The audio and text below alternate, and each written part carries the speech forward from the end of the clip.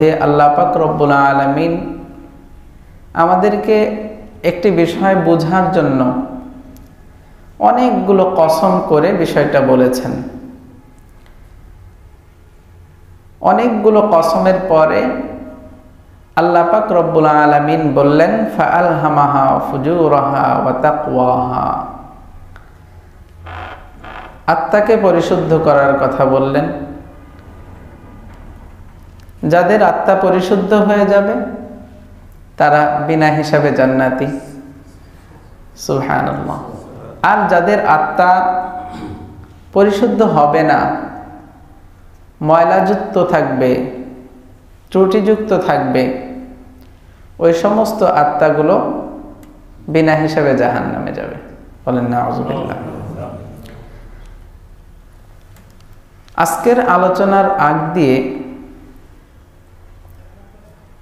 আমি কিছু কথা বলব যে কথাগুলো আপনারা যদি বুঝেন আপনারা যদি একমত হন তাহলে সামনের কথাগুলো বুঝতে সহজ হবে।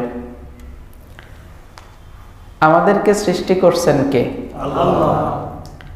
আম্বিয়াকে রামদেরকে সৃষ্টি করছেন কে? আমাদেরকেও সৃষ্টি করলেন আল্লাহ আম্বিয়াকে রামদেরকেও সৃষ্টি করলেন আল্লাহ। আমাদের মধ্যে, আম্বিয়া কেরামদের মধ্যে পার্থক্য কি? আমাদের এক ধরনের মর্যাদা, আম্বিয়া কেরামদের মর্যাদা অনেক ঊর্ধ্বে, যার তুলনায় হয় না। আল্লাহ পাক রব্বুল আলমিন প্রত্যেক জাতির জন্য একজন একজন নবী পাঠাইছেন কি পাঠান নাই? প্রত্যেক জাতির জন্য একজন একজন নবী পাঠাইছেন। প্রত্যেক নবী একটা কথাই জাতির সামনে বলছে, ইয়া আইয়ুহান্নাস কুলু লা ইলাহা ইল্লাল্লাহু তুফলিহুন। হে লোক সকল, হে মানুষেরা, হে আমার জাতি, তোমরা লা ইলাহা ইল্লাল্লাহ বলো, এটা স্বীকার করো, তোমরা সফল কাম হয়ে যাবা। লা ইলাহা ইল্লাল্লাহর অর্থ শুধু এতটুকুই নয় যে আল্লাহ এক বলে বিশ্বাস করা। শুধু এতটুকু? আমি সুরাতুল আসরের মধ্যে আলোচনায় আপনাদের সামনে আলোচনা করেছিলাম বলেছিলাম যে ইমানের শাখাগুলো কি? আল্লাপাক যে বলেছিলেন ইন্নাল ইনসান লাফি হুস্ট সমস্ত মানুষ ক্ষতির মধ্যে আছে সমস্ত মানুষ ক্ষতিগ্রস্তর মধ্যে আছে। এই ক্ষতির থেকে বাঁচবে কারা? চারটা গুণ বলেছিলেন ইল্লাল্লাদিন আমানু ও আমিলুস সালিহাত ওয়াতাওয়াসাউ বিল হক ওয়াতাওয়াসাউ বিস সবর। এই চারটা গুণের কথা বলেছেন। এর এক নাম্বার গুণ ছিল কি? ইমান ইমান আনতে গেলে শুধু আমি ইমানদার বললে ইমান চলে আসে না। ইমান আনতে গেলে শুধু ইমানদার বলে চিৎকার করলেই ইমান আসে না। ইমান আনতে হলে ইমানের যে শাখা প্রশাখাগুলো আছে, সেগুলোও মানতে হবে। আমান্তু বিল্লাহি ওয়া মালাইকাতিহি ওয়া কুতুবিহি ওয়া রুসুলিহি ওয়াল ইয়াউমিল আখিরি ওয়াল কদরি খাইরিহি ওয়া শাররিহি মিনাল্লাহি তাআলা ওয়াল বা'থি বাদাল মাউত। এই সবগুলো বিশ্বাস করার নাম হলো ইমান যাক, আমাদের আলোচনার বিষয় ইমান না। তো ইমানদার হইতে হলে সবগুলো গুণ স্বীকার করতে হবে। এখন প্রত্যেক জাতির জন্য আল্লাহ পাক রব্বুল আলমিন ইমান বোঝার জন্য ইমানকে চিনার জন্য একজন করে প্রতিনিধি পাঠাইছেন। কি পাঠান নাই? আমাদের জন্য পাঠাইছেন কি পাঠান নাই? হজরত মুসা আলহিসামকে পাঠাইছিলেন কি পাঠান নাই? যত নবীগণ আসছেন, সমস্ত নবীদের জন্য, সমস্ত গোত্রের জন্য একটা একটা নবী ছিলেন, একজন একজন নবী ছিলেন সমস্ত গোত্রের লোকদেরকে দাওয়াত দেওয়ার জন্য যে তোমরা বলো লা ইলাহা ইল্লাল্লাহ তাহলে সফল কাম হয়ে যাবে। মোহতারাম হাজরিন নবীগণ পাঠাইলেন নবীগণ দাওয়াত দিছেন। সবাই কি সাদরে দাওয়াত গ্রহণ করছে। কি বলেন? দাওয়াত দেওয়ার পরে সাথে সাথে গ্রহণ করছে? গ্রহণ করে নাই। আপনারা নূহ আলাইহিসালামের ঘটনা জানেন। নূহ আলাইহিসালাম সাড়ে নয় শত বছর দাওয়াত দেওয়ার পরেও হাতে গোনা মাত্র কয়েকজন মানুষ ইমান গ্রহণ করছে। আর বাকি সমস্ত মানুষ তাকে অস্বীকার করছে বিভিন্ন ধরনের ঠাট্টা বিদ্রুপ করছে। করে নাই? হজরত মুসা আলহি সালাম তার গোত্রের লোকদেরকে যখন দাওয়াত দিছে অস্বীকার করছেন কি করেন নাই? করেন নাই? হজরত ঈসা আলহি সালাম তার গোত্রের লোকদেরকে দাওয়াত দেওয়ার সময় তাদের কি অস্বীকার করে নাই? করছে। হজরত সালেহ আলহি সালামের ক্ষেত্রেও ঠিক ওই ধরনের অস্বীকৃতি এখানে আসছে। সেই আলোচনাগুলোই আজকে এখানে। প্রত্যেক নবীগণকে পাঠাইলেন, দাওয়াত দেওয়ার জন্য নবীগণ দাওয়াত দিছেন। এই দাওয়াত যারা গ্রহণ করছে, তারা সফল কাম, দাওয়াত যারা গ্রহণ করে নাই, তারা বিফল। তারা সফল কাম হতে পারে নাই। যারা দাওয়াত গ্রহণ করছে, তারা তো মাসা আল্লাহ আলহামদুলিল্লাহ। আল্লাহ পাকের প্রেরিত রসুল যা বলছেন, সেভাবে চলার চেষ্টা করছেন। কিন্তু যারা মানে নাই, তারা কথায় কথায় ঠাট্টা বিদ্রুপ করছে। আমাদের নবী হজরত মুহাম্মদুর রসুল্লাহ সাল্লাহ আলহিহাসাল্লামের প্রতি ঠাট্টা বিদ্রুপ করেছেন কি করেন নাই? কি বলছিলেন? ও মুহাম্মদ তুমি কীভাবে নবী হইবা? তুমি কীভাবে নবী হইবা? আমাদের সাথে চলাফেরা করো আমাদের সাথে হাট বাজার করো আমাদের সাথে উঠা বসা করো। একসাথে ঘুমাই একসাথে খাওয়া দাওয়া করি এক জায়গায় বসে এক বিছানায় শুই। তুমি আবার কীভাবে নবী হয়ে যাও? বলছিল কি বলে নাই? হজরত সালেহ আলাইহিসালাম ঠিক তার জাতিকে এইভাবেই যখন দিনের দাওয়াত পৌঁছাইতে গেছেন, তখন সালেহ আলাইহিসালামের জাতিরাও ঠিক একই ধরনের কথাবার্তা তাকেও শুনাইছেন। ও সালে তুমি একসাথে চলাফেরা করে কি ভাওতাবাজি শুরু করছ? জাদুকর হয়ে গেছো। জাদুকর হয়ে গেছো। এই ধরনের কথাবার্তা শুরু করছে। তো তারা সালেহ আলাইহিসালামের দাওয়াত তো গ্রহণ করেন নাই, বরং এমনভাবে ঠাট্টা বিদ্রুপ করছেন যে ঠাট্টা বিদ্রুপের বদৌলতে আল্লাহ তাআলা তাদের প্রতি এমন আজাব নিপতিত করছেন যে আজাব একেবারে সমতল মাটির মতো তাদেরকে সমান করে দিয়ে গেছে বলেন, নাউজুবিল্লাহ।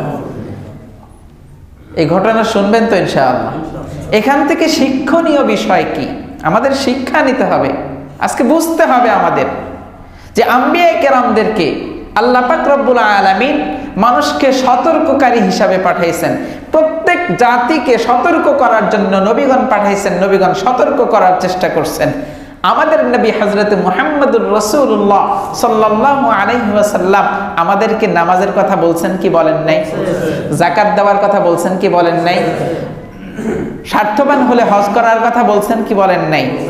সঠিক সময় হজ সঠিক সময় জাকাত সঠিক সময় নামাজ সঠিক সময় রোজা রোজা।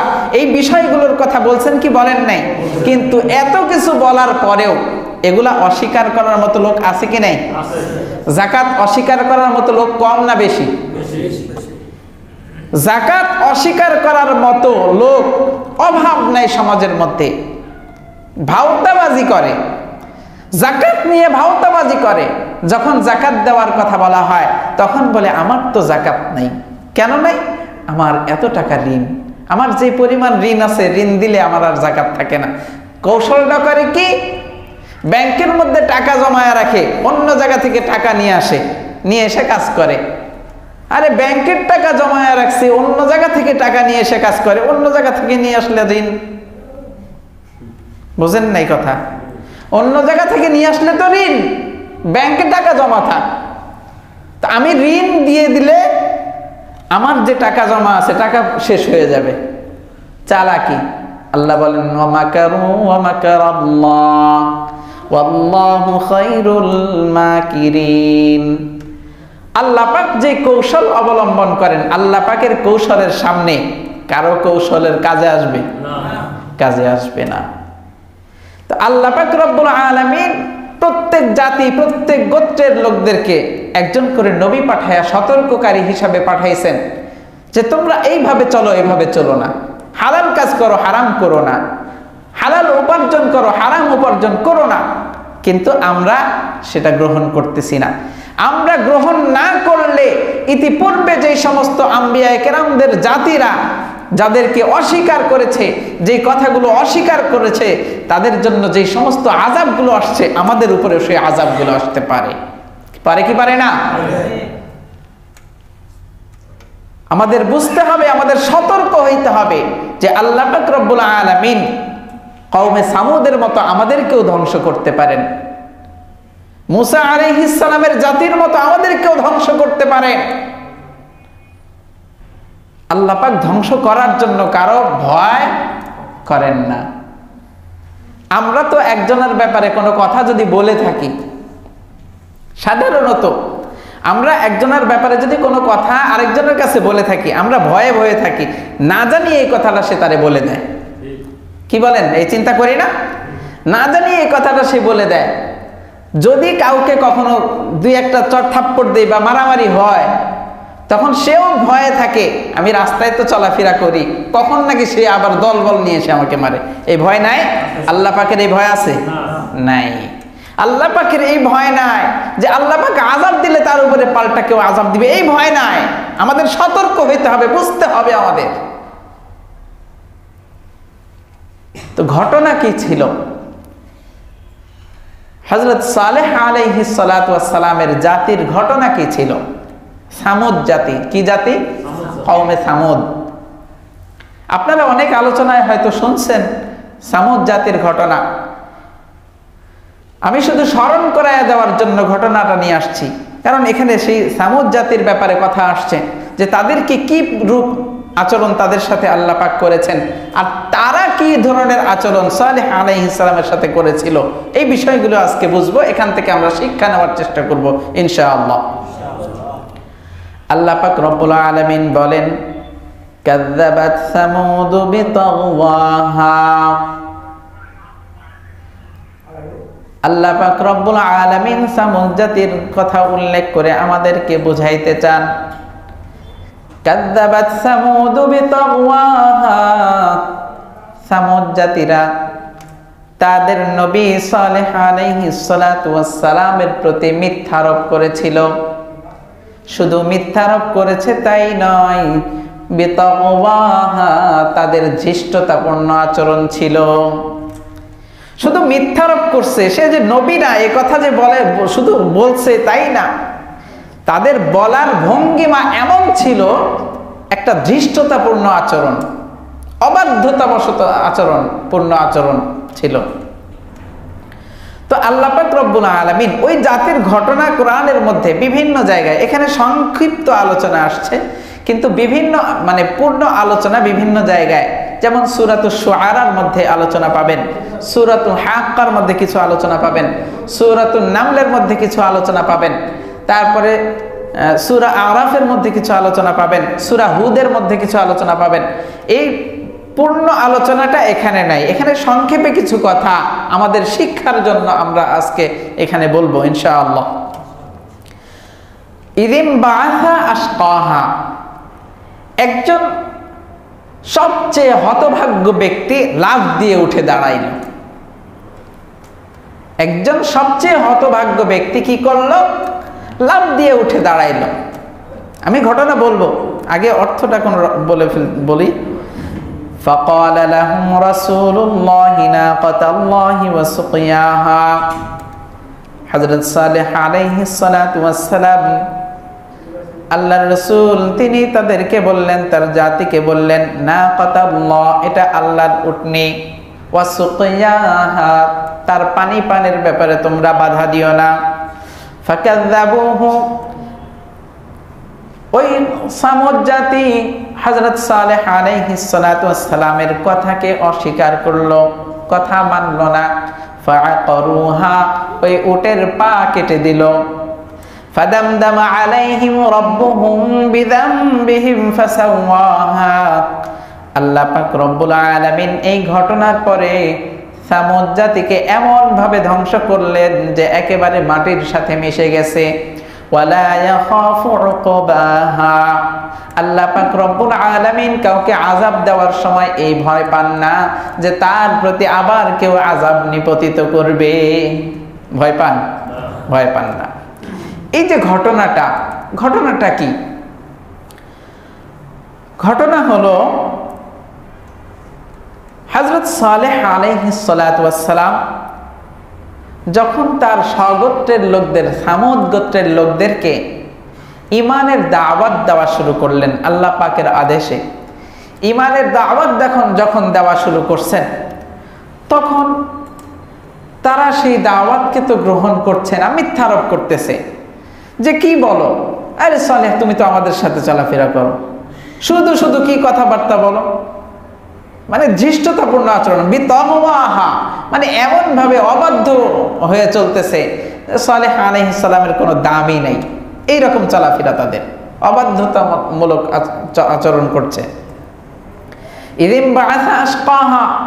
যখন সালেহ আলাইহিসালাম দিনের দাওয়াত নিয়ে গেছে, তখন তারা বলতেছে যে, ও সালেহ, তুমি যদি নবী দাবি করো তাহলে আমাদেরকে একটা অলৌকিক ঘটনা দেখাও।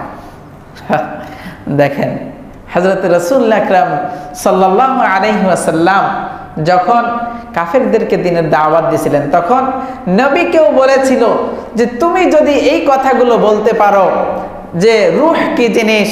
তারপরে আসহাবে কাহাফ কারা ছিল? এই সমস্ত কথাগুলো যদি বলতে পারো, তাহলে আমরা বুঝব তুমি নবী। আল্লাহ রসুল বলে দিয়েছেন কিন্তু তারা নিমান আনছে।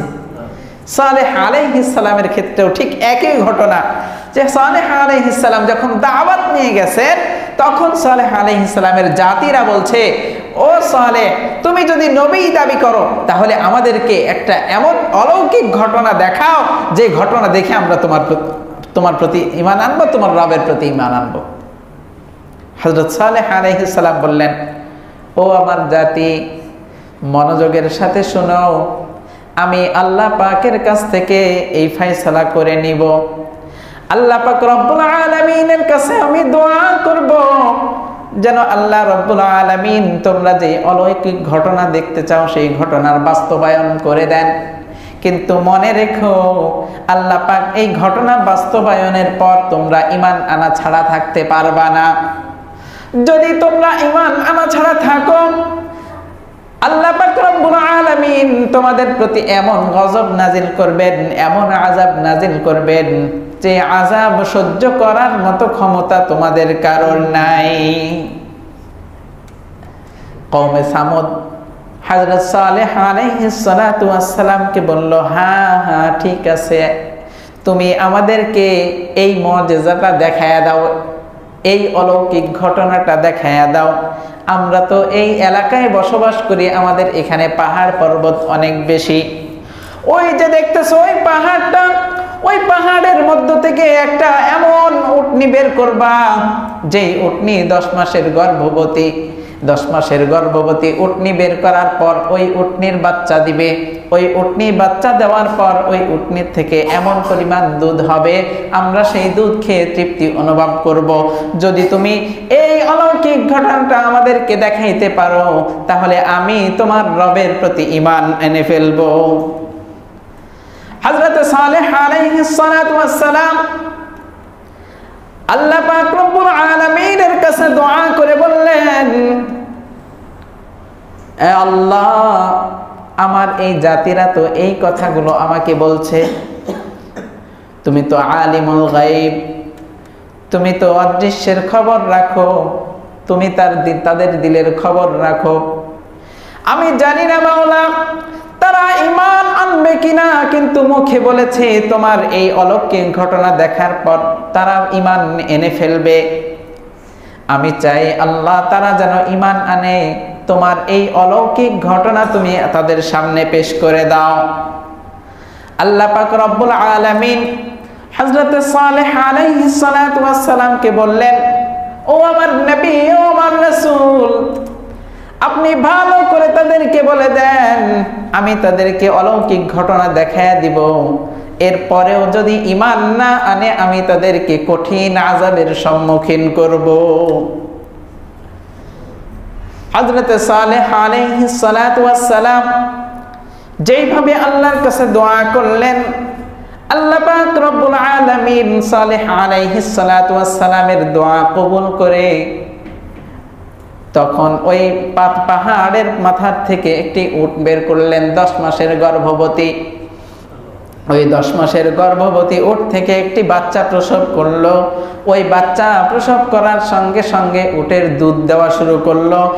এত পরিমাণ আল্লাহ পাক দুধের বরকত দিলেন।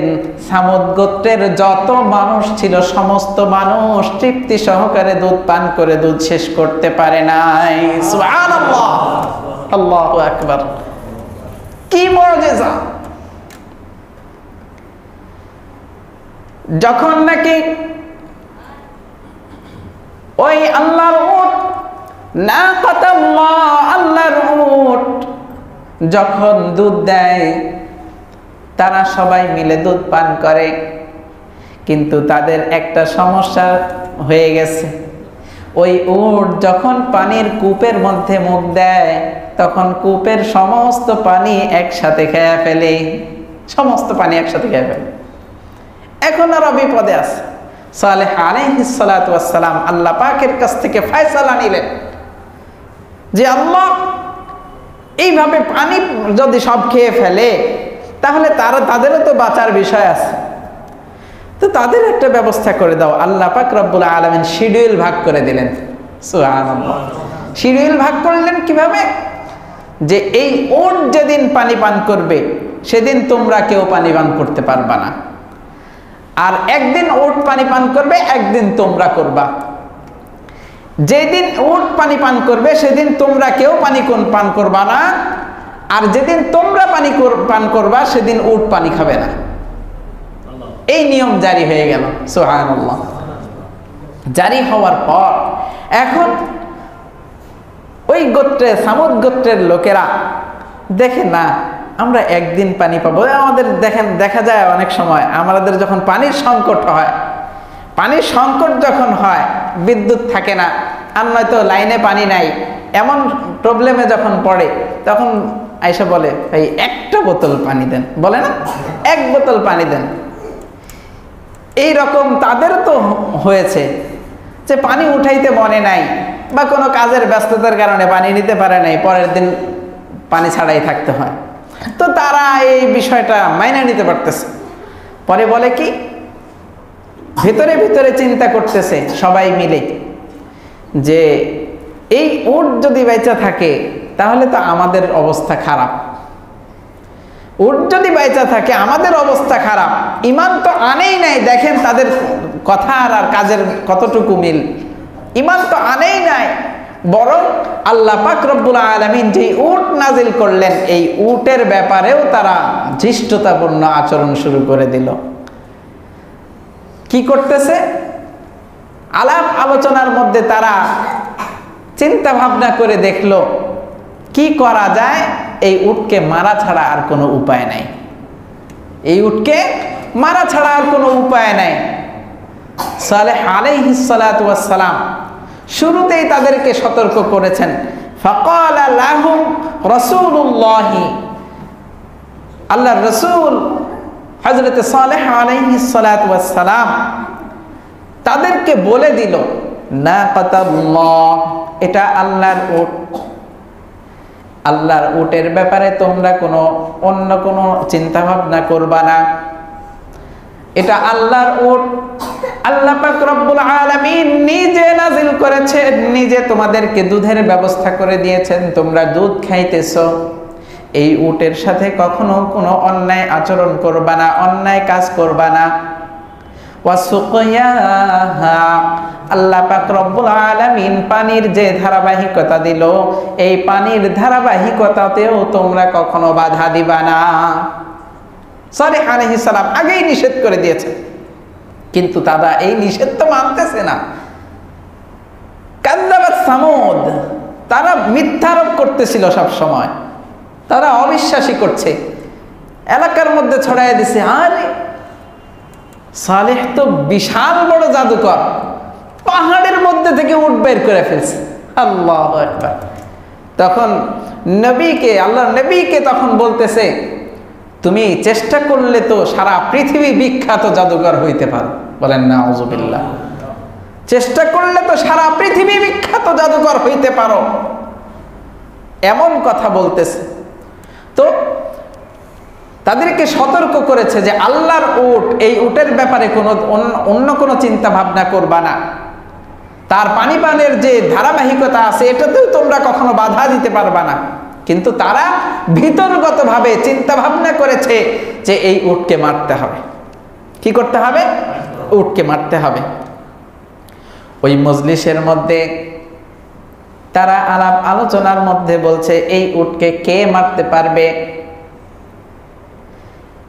কুদামা বিন এরকম একটি নাম, ওই ব্যক্তি হঠাৎ করে দাঁড়ায়। এখানে আল্লাহ পাক রব্বুল আলমিন দেখেন ইদিম সবচেয়ে হতভাগ্য বলছেন, সবচেয়ে হতভাগ্য ব্যক্তি তখন লাভ দিয়ে দাঁড়ায় গেছে। লাভ দিয়ে দাঁড়ায় গেছে যে কে উটকে হত্যা করতে পারবে উটকে কতল করতে পারবে? ওই ব্যক্তি লাভ দিয়ে দাঁড়ায় গেছে ইদিম বাসা ইদিম বাসা বাসা শব্দের অর্থ কেউ দাঁড় করায় দেওয়া। বাসা বাসু কেউ দাঁড় করানো। ইদিম বাসা নিজের থেকে লাভ দিয়ে দাঁড়ানো। কেউ দাঁড় করায় দেওয়া না, নিজের থেকে লাভ দিয়ে দাঁড়ানো। আল্লাহ পাক ওইভাবেই বলতেছেন যে সবচেয়ে হতভাগ্য ব্যক্তি, সে লাভ দিয়ে দাঁড়ায় গেল যে আমি খুন করব, আমি এই উটকে কতল করব। বলেন না হজবিল্লা এই উটকে কতল করার চিন্তা ভাবনায় ওই ব্যক্তি লাভ দিয়ে দাঁড়ায় বলছে তোমাদের চিন্তার কোনো কারণ নাই, আমি উটকে কতল করব। সঙ্গে সঙ্গে সে তরবারি নিয়ে ছুরি নিয়ে ওই উটের কাছে চলে গেল। গিয়ে উটের পা কেটে দিয়েছে। বলেন না উটের পা কেটে দিয়েছে। উটের পা কাটার পর যখন উট শুয়ে পড়েছে, পড়ে গেছে, তখন উটের কল্লাও কেটে আলাদা করে ফেলছে। এসে বলতেছে, ও সামুদ জাতি তোমাদের কোনো চিন্তা নাই। তোমাদের পানি নিয়ে আর কোনো পেরেশানি নাই। আমি তোমাদের পানির পেরেশানি দূর করে আসছি। হাজরতে সালাম এই ঘটনা দেখে তাদেরকে বলেছে যে, তোমরা তো ধ্বংস হয়ে যায় বা হাজরতে সালেহ ডাক দিয়ে বলে, ও সালেহ, তুমি না বলেছিলে আমরা যদি তোমার রবের প্রতি ইমান না আনি, তাহলে তোমার রব আমাদের প্রতি আজাবে নিপতিত করবে। কই, আমরা তো ইমানও আনি নাই, বরং তোমার আল্লাহ যে উঠ ছিল সেই উঠকে আমরা কতল করছি। আজাব কই আজাব তো দেখি না। নাউজবিল্লাহ। আজাব তো দেখি না। হজরত সালেহ আলাইহিস সালাম সঙ্গে সঙ্গে তিন দিন টাইম দিয়ে দিছে। যে তোমরা তিন দিন টাইম নাও তোমরা যা খাবার খায়া নাও, তোমরা যত ঘুমানোর ঘুমায়া নাও, যত কার্যক্রম করার করার করে নাও, তিন দিন সময়, এই তিন দিন পরে আল্লাহর আজাব তোমাদের উপরে নিপতিত হবে ইনশাআল্লাহ। হজরত সালেহ আলহিসালাম যখন এই কথাগুলো তাদেরকে বলে দিল, তারা মোজ মাস্তি করতে করতে বাসায় চলে গেল। তিন দিন পর হজরত সালেহ আলাইহিসালামের ওই জাতি তখন দেখতে পেল আকাশের হঠাৎ অন্ধকার হয়ে আছে, বৃষ্টি আসবে আসবে ভাব। বৃষ্টি আসবে আসবে ভাব। সবাই আসমানের দিকে তাকায় আছে, হঠাৎ করে মেঘ থেকে আসলো? অন্ধকার হয়ে যাচ্ছে কেন? একটু পরেই আল্লাহ পাক রব্বুল আলামিন এমন আযাব দিলেন, ফাদামদামা আলাইহিম রাব্বুহুম বিদামবিহিম ফাসাওয়াহা। আল্লাহ পাক রব্বুল আলামিন এমন আযাব পাঠাইলেন যে আযাবের মাধ্যমে তাদেরকে বাতাসে এবং আওয়াজে কতল করেছেন। বাতাস এবং আওয়াজ, এই দুইটার সমন্বয়ে আল্লাহ পাক রব্বুল আলামিন তাদেরকে আযাব দিয়েছেন। এখানে ফাদামদামা শব্দ ব্যবহার করা হয়েছে। দামদামা শব্দের অর্থ হলো, এমন এমন আজাবকে বলা হয় যে আজাবের কোনো স্থিরতা নাই, ধারাবাহিকভাবে চলতে থাকে, এমন আজাব আর ধারাবাহিকভাবে চলতে থাকে শুধু এক জায়গার উপরে না, পুরা জাতিকে ধ্বংস করে দেওয়ার মতো আজাব এমন আজাব আল্লাহ তালা পাঠাইলেন। فدمدم عليهم ربهم بذنبهم فسواها আল্লাহ পাক রব্বুল আলামিন তাদের উপরে এমন আজাব পাঠাইলেন তারা এমন ভাবে পড়েছিল যেন খেজুর বৃক্ষগুলো মাটির মধ্যে শুয়ে আছে সামুদ জাতিদের ব্যাপারে সামুদ এবং আজ জাতিদের ব্যাপারে তাফসিরের বিভিন্ন কিতাবের মধ্যে আসছে যে এদের সর্বনিম্ন যে লম্বা ছিল সে ছিল একশো হাত। কতটুকু? একশো হাত। আর সর্বোচ্চ লম্বা যে ছিল সে ছিল চারশো হাত। কোন কোন বর্ণনায় সর্বোচ্চ যে ছিল তার ছিল দুইশো হাত। সর্বনিম্ন যে ছিল তার ছিল একশো হাত। নব্বই হাত। এই হলো তাদের অবস্থা ছিল। যে আল্লাহ রব্বুল আলমিন এমনভাবে আজাব দিলেন তাদেরকে এমনভাবে নিঃশ্বাস করলেন, মনে হইতেছে যে খেজুরের গাছ পড়ে আছে, মাথাটা এক জায়গায়, পুরা বডিটা এক জায়গায়। খেজুর গাছ যদি একটা কেটে মাথাটা আলাদা করে রাখেন, খেজুর গাছ যদি আলাদা রাখেন, তাহলে কেমন দেখায়? ধরটা আলাদা কর্দনটা আলাদা, তাহলে কেমন দেখায়? ঠিক ওই রকম দেখাইছে যখন সামুদ জাতির উপরে আল্লাহ পাক রব্বুল আলমিন আজাব দিয়েছেন। আল্লাহ পাক এই আজাবটা কেন দিলেন? আল্লাহ পাকের উপরে ইমান তো আনেই নাই, বরং আল্লাহ পাক যে নিদর্শন দিয়েছেন, সেই নিদর্শনকেও অস্বীকার করেছে এবং ওই নিদর্শনকে পর্যন্ত তারা কতল করেছে। শুধু তাই নয়, এতটুকু করেই ক্ষান্ত হন নাই, হয় নাই। বরং হজরত সালেহ সালামকে এবং তার সপরিবারকে হত্যার চিন্তা ভাবনাও তাদের মাথায় ছিল। আল্লাহ পাক রব্বুল আলমিন এটা সহ্য করতে পারেন নাই। সঙ্গে সঙ্গে তাদের উপরে আজাব আজাবে নিপতিত করছেন তো আল্লাহ পাক আজাব দিলে কেমন আজাব দিবেন? আল্লাহ পাক আজাবের কথা বলছেন, কেমন আজাব দিবেন? আমরা তো কাউকে মারার সময় ভয় করে করে মারি। আমি যতটুকু মারতেছি তার বেশি তো আমার পাইতে হবে হয়তোবা। এই চিন্তা ভাবনা করে করে মারি, কি বলেন? চিন্তা থাকে না মাথায়? হয়তো মারার সময় থাকে না একটু পর থেকে চিন্তা শুরু হয় আইলো মনে হয় আমার উপরে। চিন্তা হয় কি না? এই চিন্তা ভাবনা আল্লাহ পাকের ক্ষেত্রে নাই। আল্লাহ পাক বলছেন আমি আল্লাহ আজাব দেওয়ার সময় কারও ভয় করি না যে আমি আজাব দিলে পাল্টা আমার উপরেও কোনো আজাব আসবে। ভয় করেন? ভয় করেন না। মোহতারাম হাজরিন, আমাদের এখান থেকে কি শিক্ষণীয়? শিক্ষণীয় কি? আমরা কি শিখতে পারি? আল্লাহ রব্বুল আলমিন আমাদেরকে যখন আমাদেরকে যখন ইমানদার বানাইছেন ইমানদার একটা নিয়ামত। এই ইমানের নিয়ামত আমরা পেয়েছি, বিধর্মীরা পায় নাই। তাদের সুযোগ ছিল কিন্তু তারা গ্রহণ করে নাই। ইমানের নিয়ামত পেয়েছি। আর বাকি যত নিয়ামতগুলো আছে, সেগুলোর নিয়ামত যেইভাবে আল্লাহ চান, সেইভাবে শুক্রিয়া আদায় করতে হবে। কি বলেন? করতে হবে কি হবে না?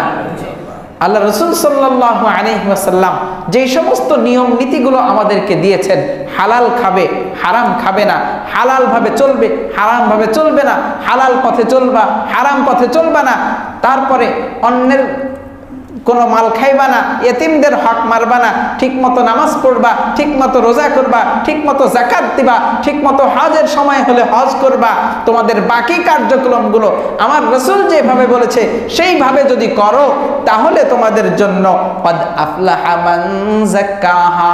আল্লাহ পাক রব্বুল আলামিন বলেন, ওই সমস্ত ব্যক্তিরা সফল কাম হয়ে গেছে, তাদের আত্মা পরিশুদ্ধ হয়ে গেছে। সুবহানাল্লাহ। আর যদি মদ খাও, হারাম জিনিস খাও, হারাম উপার্জন করো, হারাম থেকে বেঁচে না থাকো, অকাদ আল্লাহ পাক রব্বুল আলামিন বলেন, যাদের আত্মা পরিশুদ্ধ করল না, তাদের জন্য নিকৃষ্টতম জাহান্নামের আজাব অপেক্ষা করছে। মোহতারাম হাজরিন তো আমাদের এখান থেকে চিন্তা করতে হবে, চিন্তা ভাবনা ভালো মতো দিলের মধ্যে ঢুকাইতে হবে ব্রেনে ঢুকাইয়া নিতে হবে যে আল্লাহ পাক যেভাবে বলছেন সেভাবে চলা দরকার। কি বলেন? সেভাবে চলতে হবে, দরকার না চলতেই হবে। এর বাইরে কোনো পথ নাই, কোনো মত নাই। আল্লাহ পাক রব্বুল আলামিন আমাদেরকে বুঝার এবং আমল করার তৌফিক দান করেন। ওয়া আখিরু দাওয়ানা আনিল হামদুলিল্লাহি রাব্বিল আলামিন।